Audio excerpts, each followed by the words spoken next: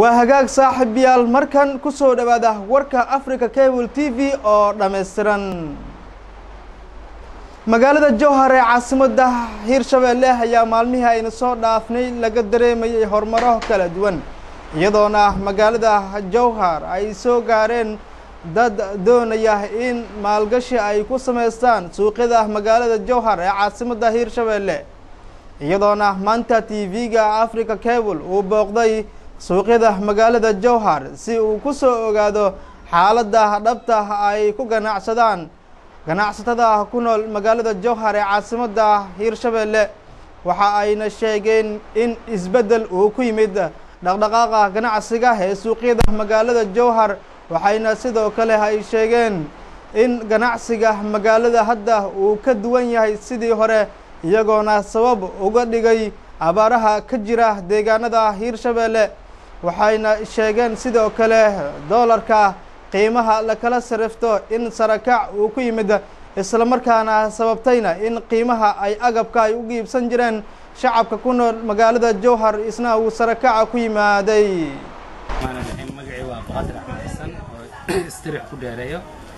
Isbeddelka ganacsiga maalmahan waa ka jiray culeysyo badanaa iska jiray. Dadkii baadiya aan ku xirnayn ayaa xolihii iyo beerihii iyo waxyaabo badan ayaa isbedelay saas daraaddeed ganacsi culeys badan ayaa ku yimid.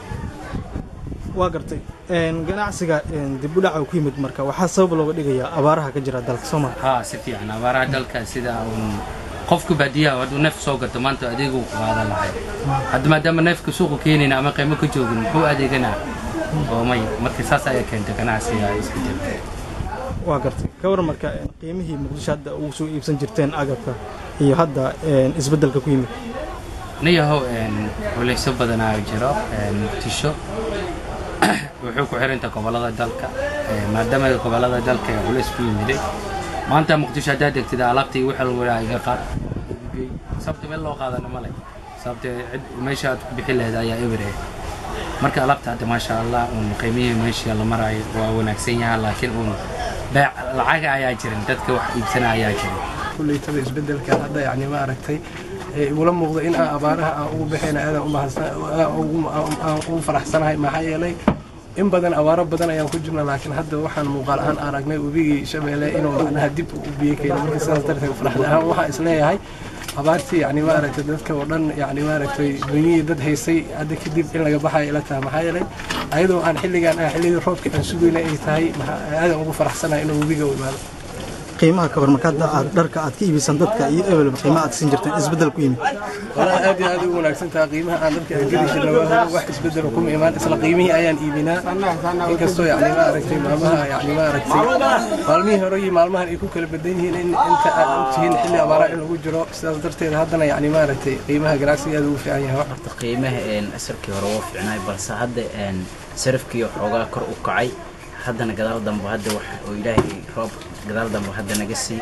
Marka waxaan rajaynaynaa inuu hadda maciishadii sidii hore ee ahayd inay nagu soo noqoto maadaama hadda sarafkii hadda koroo sii aaday qiimihii hore oo isbuucii hore la gadi jiray hadda isbuucan lama gadi karo.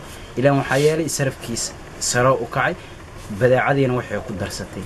Maadaama marka waxaan ilaahay ka rajaynaynaa inuu sidii hore nagu soo bedelo roobna inuu ilaahay na siiyo insha allah bismi illaahi raxmaan raxiim anigoo ah magacayga saciid axmed diiriye aad iyo aad ayaan ugu faraxsanahay maadaama maadaama maadaama uu ilaahay noo keenay.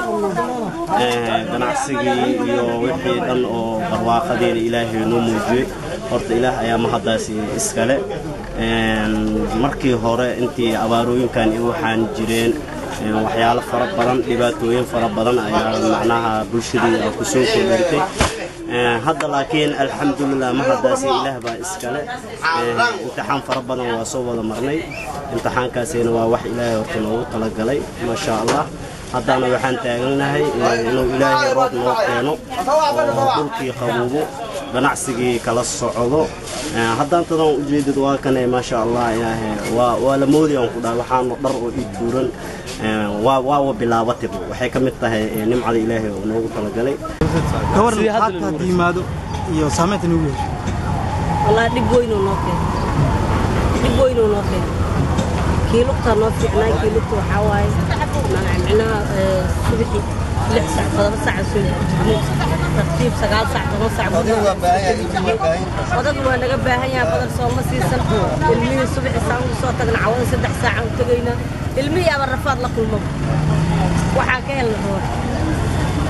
قيمه هذا أتكه شام مرق فائدة هذه نقصه بشيء متكه فائدة لقمة لكان شلق هذا ساعات جدا اللي ديارد ولا يسكسه بسيء كيشان الله هذا حلو ولا حريها. Subaxnimo haddana imaaha haddana waa la xarayhaa dadka magaalada lacag la'aanaa ka jirto abaar fara badanaa ka jirto dhibaa ka jiro xoolihii dadka u gadmaayaan reer baadiyeyaalka biyo la'aan iyo oon iyo rafaadaa dilay marka waxaa waaye annaka xaaladeennaba oo kayma